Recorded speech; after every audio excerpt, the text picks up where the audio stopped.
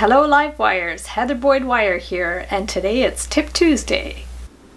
Today I'm making a ring using square wire and half round wire. Thank you so much to Amber for sending me this wire in the mail. What you're going to need for this project is square wire. I'm using the 18 gauge stainless steel wrapping wire from Beadalon and the half round 20 gauge wire from Beadalon, also stainless steel. Because of the steel wire, I'm going to use my memory wire cutters. You can also make this with copper wire.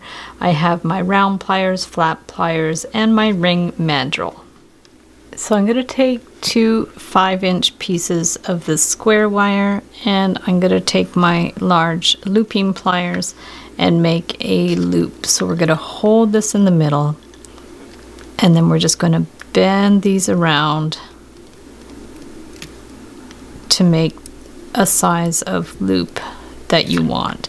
So you can also do them one at a time if you prefer. And then I'm going to get my needle nose pliers and just bend this one out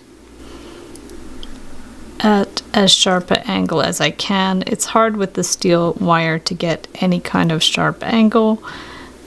We could always touch it up after. We'll just hold it on this side and give it a little bend out. Now we can just start the bend and then separate them and then you could kind of bend that one out and just adjust them as you see fit.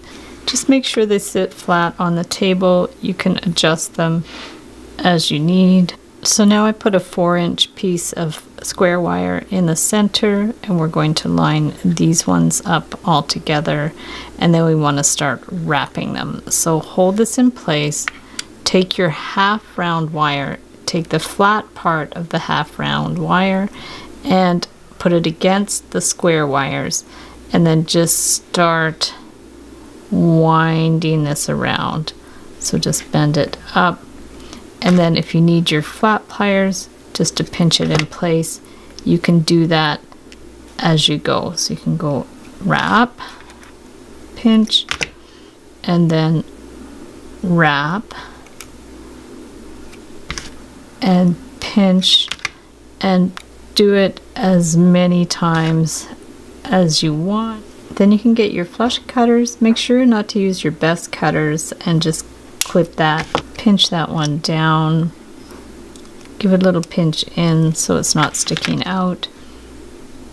Push these together and now we're going to wrap this side, put the flat side down against the square wires and then just again bring it around and around and around and pinch it as you go. So round and round, pinch it until you have about eight rounds. So now you can clip all these little ends, clip that sort of halfway at the back. Again, don't use your best cutters and then pinch in these ends so they're not scratchy. Now to make sure these don't slide back and forth, hold it in place and just take this one, bend it up a bit, and then this one here, bend it down a bit. So that's going to make sure that doesn't move. This side too, just take this, bend it down, and then this one, and bend it up. So this is your starting point. We're going to get our ring cone. So just put it on here, the size that you want, and just push it around. Now, if you have a steel mandrel, you can hammer it as well. But we're just going to make the shape here. Yeah, I don't usually use this hard steel wire, so this is definitely a challenge. So we'll just hold this, bring this one around, bring this one around and then bring this one up and that one across here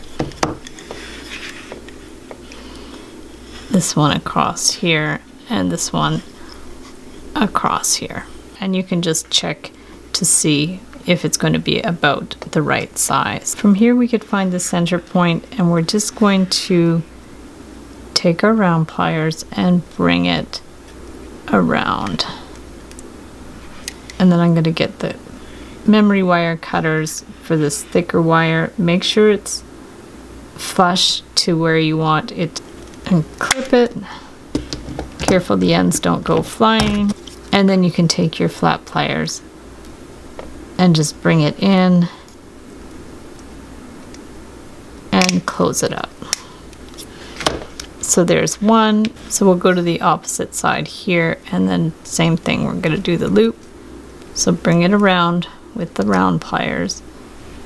Make sure there's a bit of a gap there so you can access it with your cutters and then just see where we should cut it so it's flush. Take your memory wire cutter, give it a clip. Make sure your eyes are protected because they can fly a little bit and then we're going to take this one in and just close up the gap. So we have that one and this one and then we want to do the next one.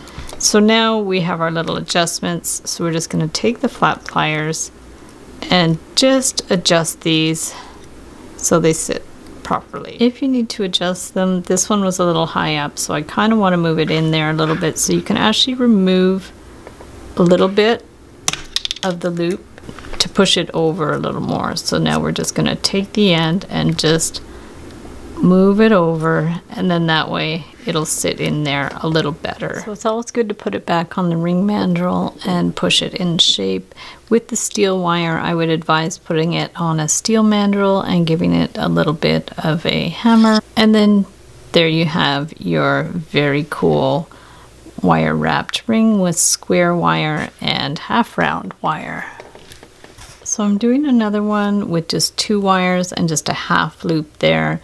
And what I did was I did the wind and then I'm just going to bring it through here and wind it just around one of the wires here to finish it off. And that way this wire won't slip back and forth. So we're going to take the flush cutters again. Don't use your best ones and then bend that down so that will sit in there and these won't move back and forth. Now we'll put it around the ring mandrel just to see about how far we should wind it. So let's just put it over here to number seven and then just bring it around. It's much easier with two wires because it's not as stiff. So we're going to bring it around and that's the beginning part of the ring. Clip it at the back, seam on that side, pinch your ends in so they're not scratchy and then you can finish bringing these ones around. So just hold it in place and you could bring one of these up and one of them down. And then over here, you could bring these two around here and around here. Just push them down. And then you're going to just maybe try it on and see if it's going to be the good size. That looks good. Pick your round pliers, find the center point, hold it with the round pliers, hold it in place, just bring it right around, and then you can just twist it a bit if you need to. And then use your memory wire cutters because this is this 18 gauge wire is stiff. So clip it off and then just bring this one down and push it so that end sits flush. So now we're going to do one on the opposite side try to get in line with that one, unless you want them more staggered, which is totally fine too. We're just going to hold this, bring it around, give it a clip, take the end, push it in, and bring it in so it sits right in there. Again, we'll get the round pliers, bring that wire around, clip it, push it in, Bring this in a little more. Push it in. Take your round pliers, hold it right underneath the other one. Bring this one around. Clip it. And then get that to sit right in there. And now you can adjust these how you like them. Just get them to sit flat put it back on the ring mandrel, adjust it, hammer it if you like on a steel mandrel, and there you have a super funky uh, stainless steel ring. This little part sits flat at the back. If you do want to add a bead, you can get the half round wire and stick it on a hematite bead. You place it on the ring and then just slide it in between those two wires. Bring it around a few times and then you could flip it and do the same on this side. Bend it around a few times. You can just clip the ends and then pinch it in with the flat pliers. Same on this side. Just pinch it in. And the bead adds a nice little detail to it.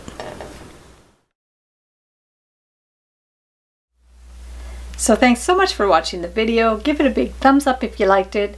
Be sure to subscribe to my channel for lots more wire art and jewelry making videos. Hit the notification bell to be notified when I go live and when I post new videos. And if you'd like to share photos of your wire art and jewelry, be sure to join the Wire Makers Club on Facebook. And if you'd like to check out my work on Etsy, my husband and I specialize in custom wedding cake toppers and funky jewelry. I also have a mailing list, so if you'd like to sign up below, I'll send you my Wire Art Essentials ebook. So thanks again for watching, and we'll see you the next time.